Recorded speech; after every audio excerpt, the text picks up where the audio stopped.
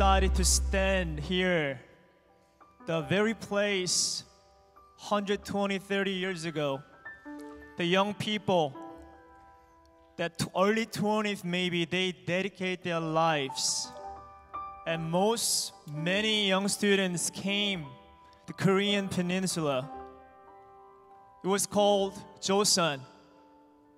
And what they did, they dedicate their lives. And I'm, I am the Korean descendant. Came to United States 1992. And I see that what God has done to my country was amazing. Last hundred some years, Korea experienced massive revival. Anointing of the Holy Spirit came to the poorest country and now that we are the South Korea is a nation sending out missionary right next to United States. And as you know that for such a time as this in Korean Peninsula going through a lot of tension that we are praying we've been praying for last 70 years about the unification between north and south you probably saw that the two leaders met together. I really hope and pray that God is doing something in this time. With the United States, Korean Peninsula has a blood alliance that we receive the blessing. So I'm so thankful. I want to say thank you, all of you who were here, who've been praying for the revival. Because of that revival that was flew into Korean Peninsula that we are here as a pastor and as a Christian family that we are having this joyful time. Because hundred some years ago South Korea or Korean Peninsula was darkest place idolatry no gospel at all. But because young missionary came and dedicated their lives we are here today. So I want to say thank you. Thank you so much for your prayer. I'm even excited to introduce Dr. Sergeant because when I heard the briefly read the bio that he went to China around nine, early 19, uh, 1990s, he served with the International Mission Board among unreached people group in China. After a movement settled down, started there, he began to train for the house church network in China and other around the world in how to do the same in different regions. Later, he served as a vice president for the global strategy with the International Mission Board. Then, amazing, after he's done the work in there, he came to United States around 2004. He joined, he helped he went to the Saddleback Church over church planting and helped catalyze some extremely large scale church planting projects, especially in India. And engaged nearly the hundreds of people, unreached people groups. Currently, now he runs a disciple making and mission training center called Meta Camp in Dadeville, Alabama. So please join me in welcoming Dr. Curtis Sergeant. Thank you so much.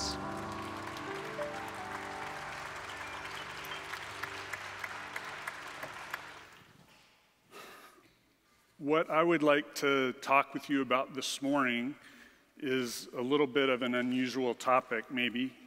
Um, it's asking a question for each of us Am I a disciple worth multiplying?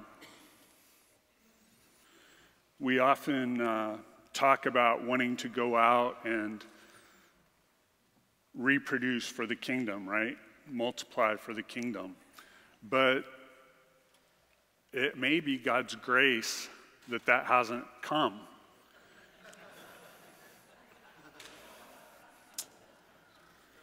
Um, I'd like to start by looking at Luke chapter 14 together.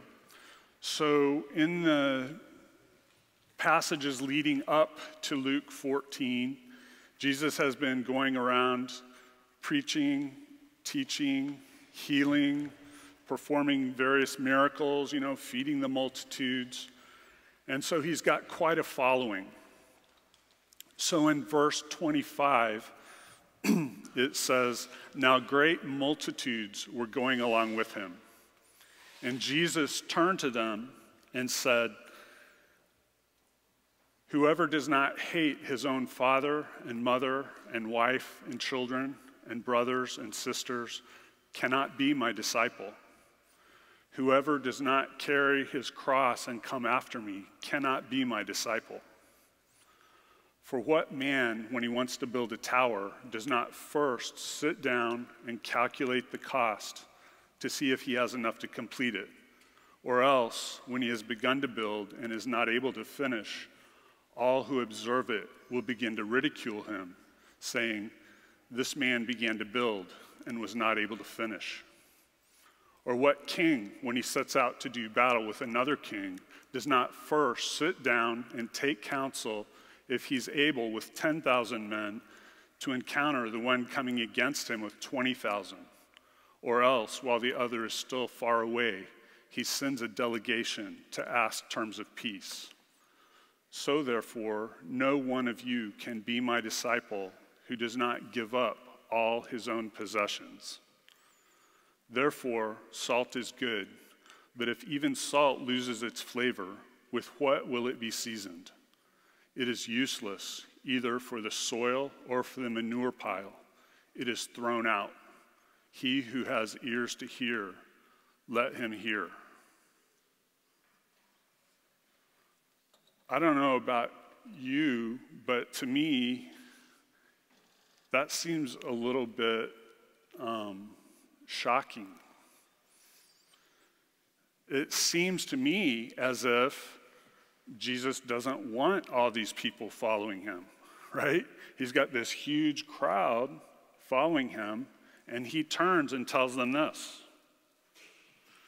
from an earthly perspective, if I were to title this passage, I think I might call it something like Jesus was a terrible marketer. Right? I mean, I, I, don't know much about marketing, but I'm pretty sure that's not how it's supposed to be done.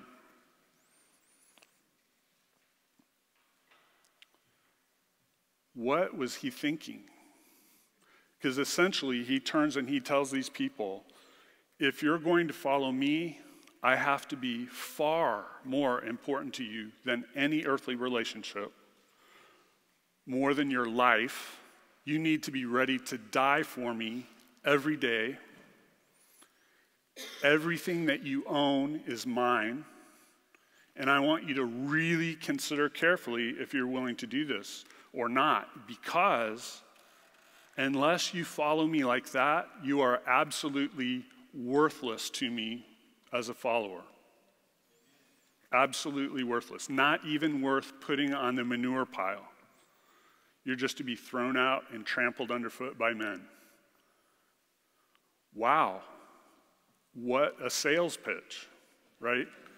From an earthly perspective, that makes no sense whatsoever. And the thing was, this isn't the only time Jesus does something like that. In fact, it's not the worst time. I would propose the worst time was when he told his followers, Unless you eat my flesh and drink your blood, you can have no part in me. And I based that on the fact that many of those who had been following him closely for a long time at that point left. And you remember then, he doesn't know when to quit he turns to the 12 who had stayed and he says, How about you? Are you going to leave too? and you just want to say, Jesus, just be quiet. Give it a rest. They might leave. And then you've got nobody, right? But apparently, he doesn't know when to quit. So, what was he trying to do in that passage in Luke 14? 25 to 35. I would propose to you that what he was doing was testing the people's motives. Were they following him for entertainment? for education, out of curiosity, for healing, for a free lunch, or because of what he had been saying and what he had been doing, did they realize who he was? Because if they realized who he was, these demands are nothing. They're inconsequential. Of course, if he is the Lord of all creation, of course, he is far more important than any earthly relationship. Of course, he is worth laying down my life for him every day. Of course, everything I have is his. All creation is his. It's just an honor to be able to follow. And I believe that's what he was doing here testing the motives of this huge crowd that was following him. And so, with that passage as a little bit of a backdrop, I'd like us to think a little bit more about what kind of disciple is worth multiplying in his eyes. You see, multiplication is God's idea, right? It's basically the first command be fruitful, multiply, fill the earth.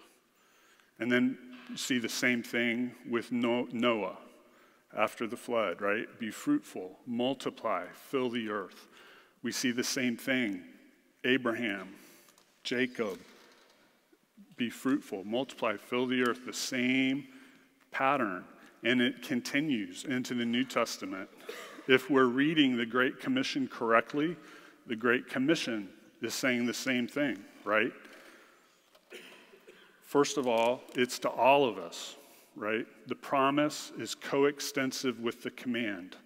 If we believe the promise, I will be with you always to the very end of the age, is to every follower of Christ, then we must also acknowledge the command to make disciples is also to every follower of Christ. And we're to do that how? Baptizing them in the name of the Father, the Son, and the Holy Spirit, and teaching them to obey all that Christ commanded. And He just commanded them to make disciples. Multiplication's built in. And where's that ha- where or among whom is that to happen? all nations that we just talked about. All nations, every people group on earth. So, multiplication is God's idea, but not all multiplication is good. Cancer is a rapid multiplication of unhealthy cells. We all know cancer is not good. I don't believe God wants to multiply mediocre disciples.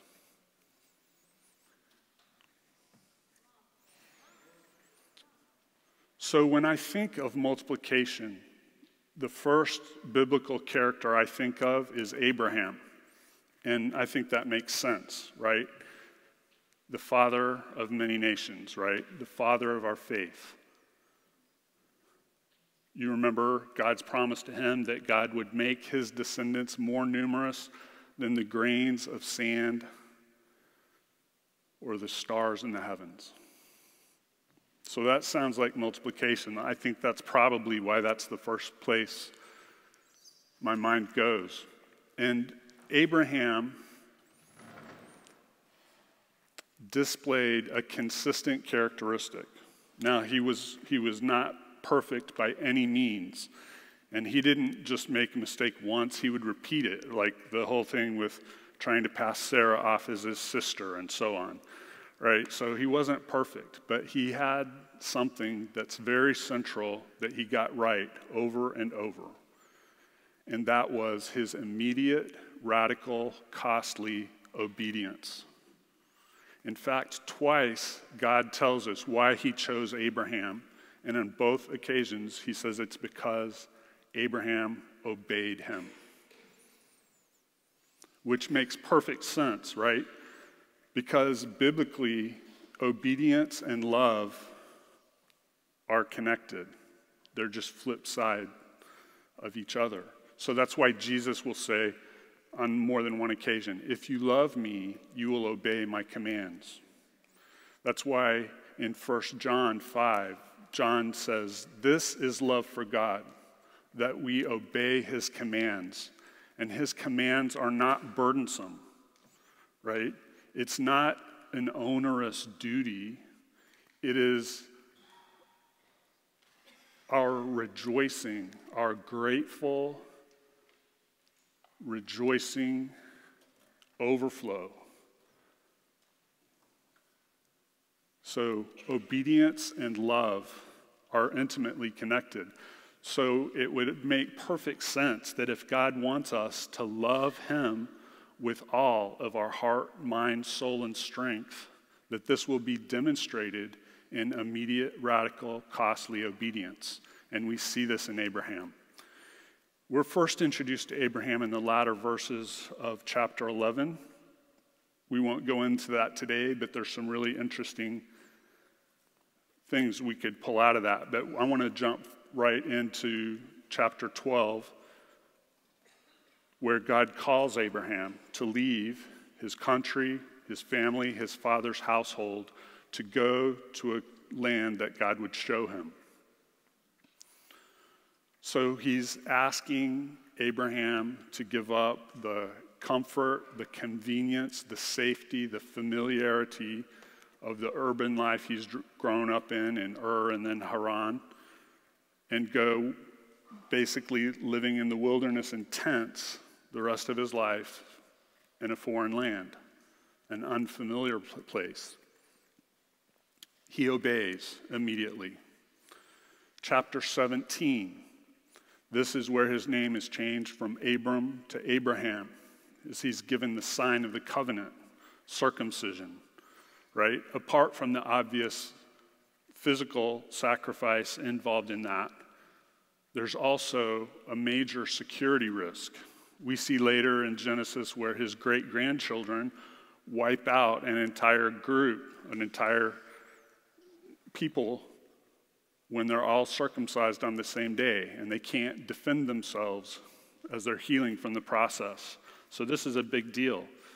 But scripture tells us on the very day that God told him, he circumcised himself and his son Ishmael, and every male born in his household, and every male bought with his money. And then for emphasis, it repeats on the very day God told him. Immediate, radical, costly obedience. Chapter 21. By now, Ishmael has been born, right? The son of Hagar. And um, Isaac has also been born by chapter 21, and Ishmael begins to mock Isaac, the son of the promise, right? So Sarah is upset. So she goes to Abraham and she says, You need to send them away. Hagar and Ishmael, you need to send them away. And we're told the matter troubled Abraham greatly because of his son. But God said to him, Listen to the voice of your wife Sarah. It's through Isaac that your seed will be named. You know, I'll also care for Ishmael and make him a great nation, but you need to send them away. So we're told, we're told he rose early the next morning, gave them food and a flask of water, and sent them away. Immediate, radical, costly obedience. Chapter 22. This is where I lose my ability to identify with Abraham. Up to this point, you know, I could see myself following him in his faith, you know, being obedient. But here, God calls him to sacrifice his son Isaac. And I think that's where you would have lost me. In his situation, I can't conceive that I would have obeyed that. I can imagine all sorts of excuses. I might have said, Yes, Lord, as long as Sarah agrees. That would have been pretty safe. Or, Yes, Lord, if you allow me to bring back Ishmael. Or, Yes, Lord, as soon as you give me a son to replace Isaac. He didn't say any of these things. Again, we're told he rose early the next morning, saddled his donkey, loaded it with firewood, and set out with Isaac for the mountain where God told him he was to do this. Now, we know, you know, that God provided the, the ram caught in the thicket by his horns as a substitute. Abraham didn't know that. Hebrews tells us that Abraham believed that God could raise the dead, and that's why he was going through with it. But at any rate, he demonstrated immediate, radical, costly obedience. And I believe that is exactly the kind of follower God delights to multiply. I used to do training for the, there were five at that time major national house church networks in China. And on one occasion, I was doing a training for the network that's called the Born Again Network. And at that time, they had 16 million people in their network. And the people at this training, there were a little over 30 of them because they were the, the heads of that network in each of the provinces of the country. And on this particular day that I want to talk about, um, our main topic for the day was tracing the pattern through Scripture of God's intention for redeeming for Himself a people from among every people, tribe, tongue, and nation. So we started at 6 a.m. in Genesis and went till 3 p.m. in Revelation. Then we took a break and had something to eat. And then we came back, and I had a large world map that I placed up on the wall. And th- this is back in the 90s. And these leaders from this network had been cut off really from outside contact pretty much almost entirely for, at that point, over 50 years. And so they had not kept, been able to keep up with what God was doing globally. And so essentially, we were re- reviewing church history for the last 50 years globally. So I just went country by country through that map and updated them on progress that had been made, the strengths and weaknesses of the church in that country, the major people groups that were still unaddressed, you know, just kind of encapsulating this current status of Christianity country by country globally. And I finished doing that about 11 p.m., and the Lord spoke very clearly to me. And He said that He wanted to call someone who was in that training to go as that network's first missionary outside the country. Of course, they had sent many people inside the country to other people groups but had not sent anyone outside. So I shared this with the group, and they agreed that we would pray for the Lord to reveal who he was calling. And so, in that sort of a situation, everyone will pray out loud simultaneously. So, everyone started to pray, and we prayed for about 10 minutes, and then I got everyone's attention, and I asked, Has the Lord called anyone yet? and there was no response. So we prayed about 10 more minutes. Still no response. And we did the same thing again and again and again and again and again. By now, it's midnight. And the seventh time, a woman who was sitting over on this side broke down, weeping uncontrollably. She said, the Lord has called me to go as a missionary to Burma, right, the country of Myanmar. And um, she said, He called me this afternoon when you talked about Burma because I started with the countries right around China, so it was one of the first countries we had talked about. And she said, I was afraid.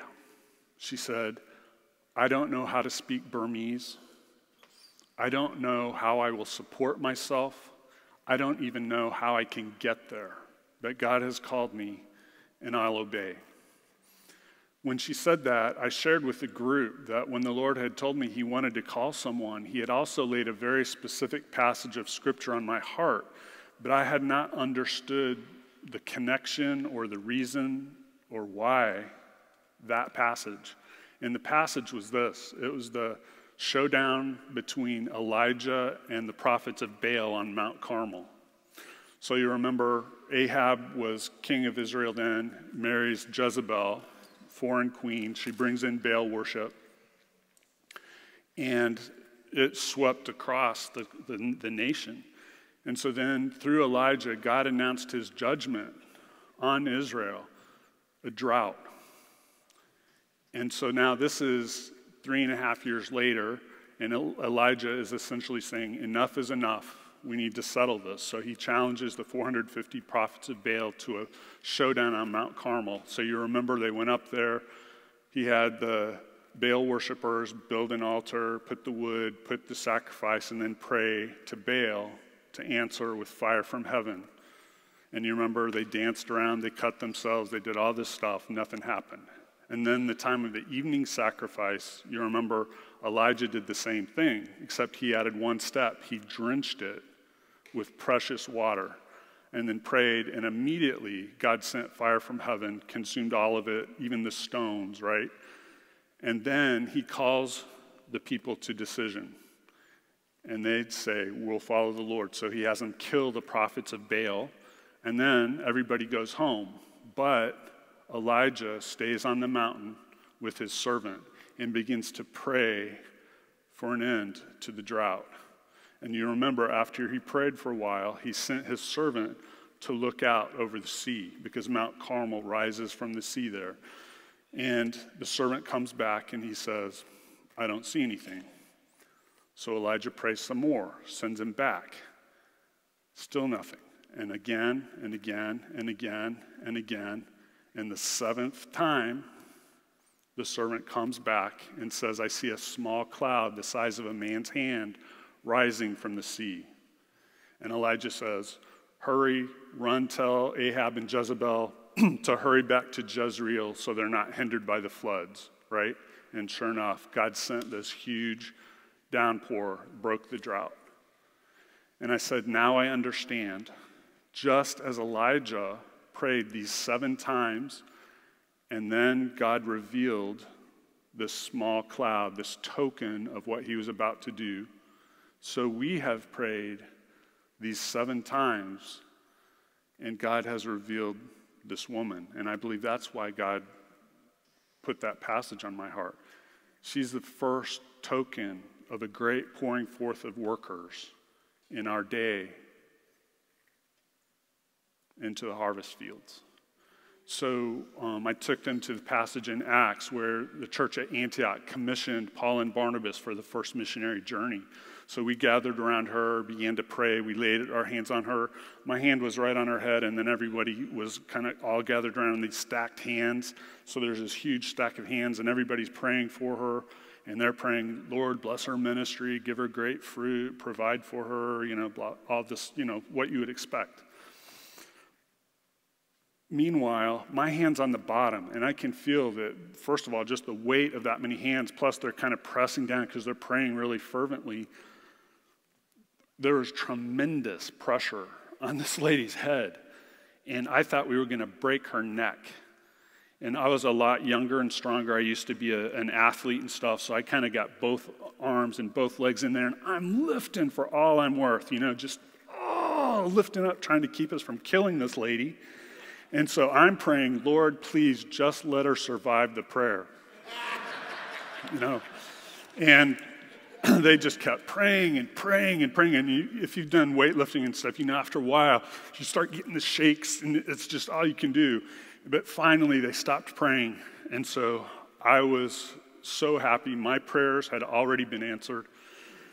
And at that point, I was really tired, and I just went over to the men's side of the room and laid down and went to sleep. I woke up the next morning, and uh, you start with an hour of prayer at four o'clock. And so I woke up and I looked around the room, and this lady was gone. For security reasons, you're never allowed to leave these training events, except every morning, two people are sent out to buy the food for the day. So I asked someone, Is today her day to buy the food? And they said, No, she left. I said, She left. Where did she go? They said, Don't you remember? God called her to Burma. I was like, She already left for Burma? They said, Yeah. They said, You've been asleep the last couple of hours. The rest of us have been up all night.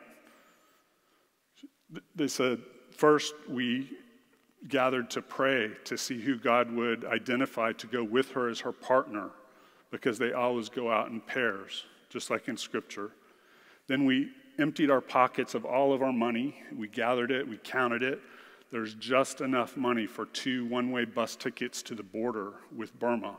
So we went down there. They caught the first bus out of town at four, and we just got back as you were waking up. And what they didn't say, but what I felt was, I hope you enjoyed your sleep, you bum. you know?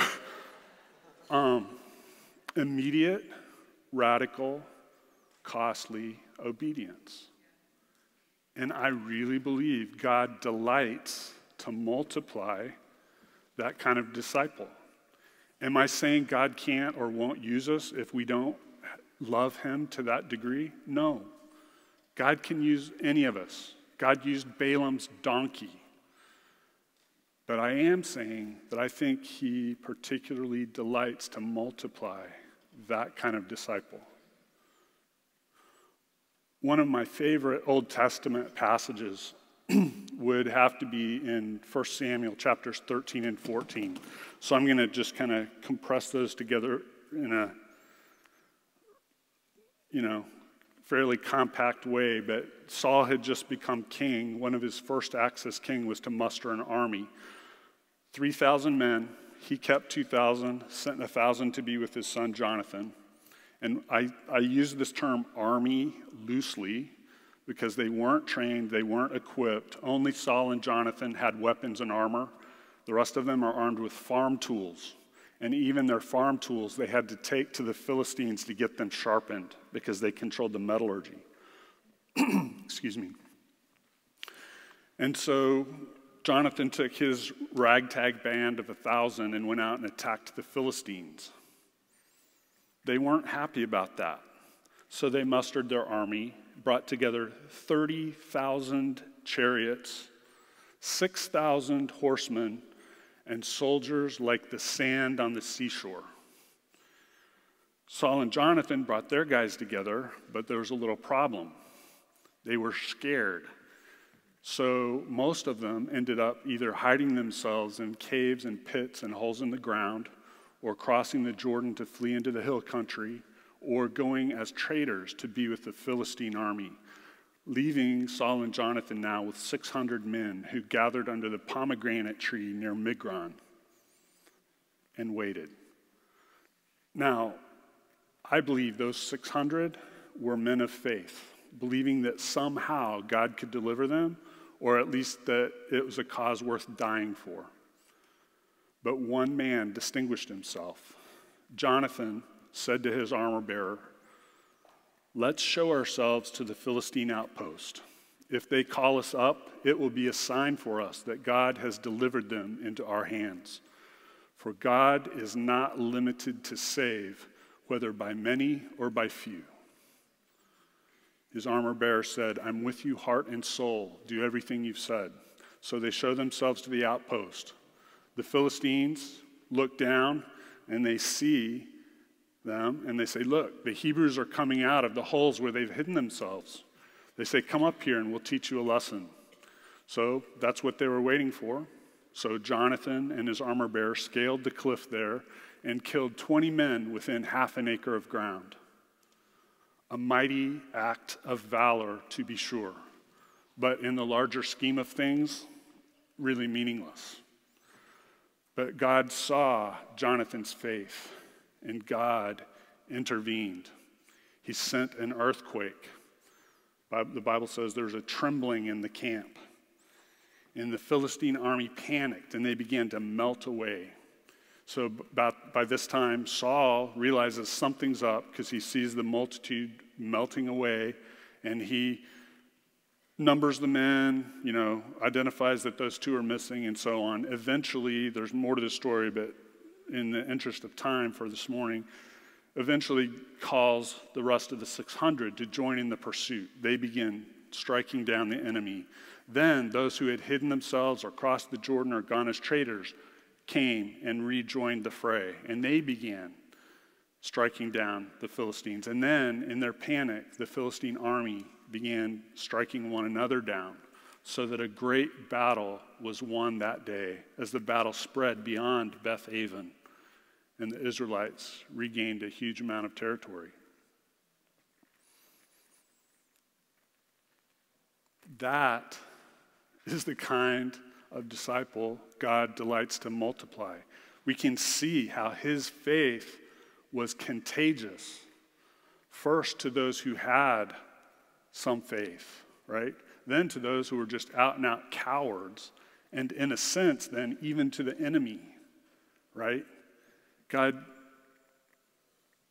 spread it. I used to meet regularly with the top leaders of those five largest national house church networks, and we would talk about national level issues and things. On one occasion, we were gathering, and um, in my mind, this was a particularly important meeting because I was getting ready to go to the United States for an extended period of time, and I didn't know if I would ever have the opportunity to meet with these brothers again. So, as we prepared to meet, the brother who was facilitating the meeting that day, his cell phone rang, and he talked for a moment, and he hung up, and he said, We will not be able to meet today because I have to leave right away. And I said, Can't you at least stay for two or three hours so we can touch on some of the most urgent and important issues? He said, No. I have to go. And so I said, What happened? And he said, Well, two of our evangelists up in the Northeast have just been killed, and I need to go see if God wants to raise them from the dead. And I said, Oh. I wasn't sure what I expected him to say, but that wasn't it, right? And so uh, immediately I began to reflect what would my response be if two of my organization's personnel had just been killed up in the Northeast? So I thought for a moment and I decided, well, my first thing would be I would call some of our other personnel up in that region to go comfort the families, take care of the bodies, and so on. My second thing I would do would be I would call our headquarters back in the United States so they could start to notify their relatives and start coaching them on how to handle press and everything so no connections were made, you know, with the organization and, you know, some things like that. That would be my response. Why? I believe God can raise the dead. I mean, I'm I know multiple people who themselves, their spouses, their children have been raised from the dead. I absolutely believe that. So, why would I respond so differently? Well, I can rationalize all I want to, but the fact of the matter is that I had a lesser degree of faith than this brother had. I was like those guys standing under the pomegranate tree, right? This brother was like Jonathan. He had a, an expectant faith, a proactive faith maybe most importantly, a sacrificial or risk taking faith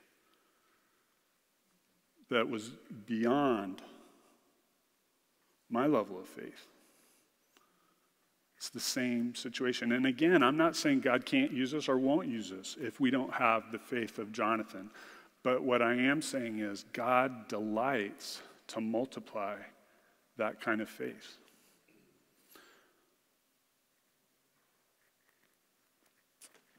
Hebrews chapter 11 is the hall of faith. And um, it's full of stories just like I've been telling. I mean, it's the same thing, you know, just re- recounting these heroes of the faith. And then he gets down toward the end of the chapter in verse 32. And he says, Time will fail me if I tell of Gideon, Barak, Samson, Jephthah, David, Samuel, and the prophets, who by faith conquered kingdoms, performed acts of righteousness, obtained promises, shut the mouths of lions, quenched the power of fire, escaped the edge of the sword. Um, let's see what was next. I need to look. From weakness we're made strong, became mighty in war, put foreign armies to flight. Women received back their dead by resurrection. And up to that point, I'm with them, right? It's like, yeah, I love those stories. I love those stories. But then in the middle of verse 35, he completely changes tone. Others were tortured, not accepting their release in order that they might obtain a better resurrection. Others experienced mockings and scourgings, chains and imprisonment. They were stoned, they were sawn in two, they were tempted, they were put to death with the sword. They went about in sheepskins and goatskins being destitute, afflicted, ill treated, men of whom the world was not worthy. And if you're like me, something in you says, wait, something's got to be wrong, right? These are heroes of the faith. At the end, they're supposed to win, right? There's no mistake. They do win in the end in the very end. But on earth, it's just not necessarily so. They all have the same faith as Hananiah, Azariah, and Mishael, right? Or Shadrach, Meshach, and Abednego. You remember under threat of being burned alive in the furnace, they refused to worship the king's idol. They said, Our God is able to deliver us, O king, from the flames. But even if he doesn't, we will not bow down to your idol. And in their case, for some reason, God saw fit to deliver them for his glory. But in the case of these men and women of faith in verses 35b through 38, they had that same faith, and for some reason, God allowed them to make incredible sacrifices, the ultimate sacrifice in many, many cases, actually being killed for their faith and suffering in every other kind of way. And on this earth, there was never a visible victory. But God is still glorified just as greatly because what demonstrates his worthiness more than our willingness to pay any price, to make any sacrifice, to take any risk for him? That brings him great glory. So if we live this kind of a life, there is no guarantee that we'll see great fruit, that we'll see great victories. But I can promise you this God will be greatly glorified in and through us. Whether it's through those amazing victories or whether it's through great sacrifice and pain and difficulty and suffering and death. That he is worth it. Let me pray for us. Lord, you commanded us to multiply. Lord, we want to obey. Make us disciples worth multiplying. So that your name will be glorified as we bear much fruit and so prove to be your disciples. Lord, we want to have the love of Abraham, who demonstrated that he loved you with all his heart, mind, soul, and strength by his consistent, radical, costly obedience. Immediate obedience, Lord. Lord, we long to have the faith of Jonathan. Lord, not to live our lives looking at earthly circumstances, gauging cost benefit ratios. Lord, but having our eyes fixed only on your glory and your purposes. To have our eyes fixed on you as the author and perfecter of our faith. And Lord, to emulate you as you sacrificially gave yourself and served. Lord, help us to be identified with you in that attitude of humility and love. Lord, earlier this morning, we claim to want more of you. Lord, honestly, we realize that if we are in you, we have all of you. The question is, how much of us do you have? Lord, we claim that we need you to speak more, when in reality, Lord, you are constantly speaking to us. The only question is, how much are we listening? So, Lord, we ask that you would help us live in a constant awareness of your presence. Lord, not, not considering anything that you ask to be difficult, but Lord, just a greater opportunity for us to demonstrate our joy and gratitude for your amazing gift to us. So, Lord, we ask that as we collectively take this position, have this attitude, and begin actually listening to you and laying everything at your feet, Lord, that you will bring tremendous fruit. You will bring tremendous revival as you send us to the darkest, Lord, to the least, the last, and the lost.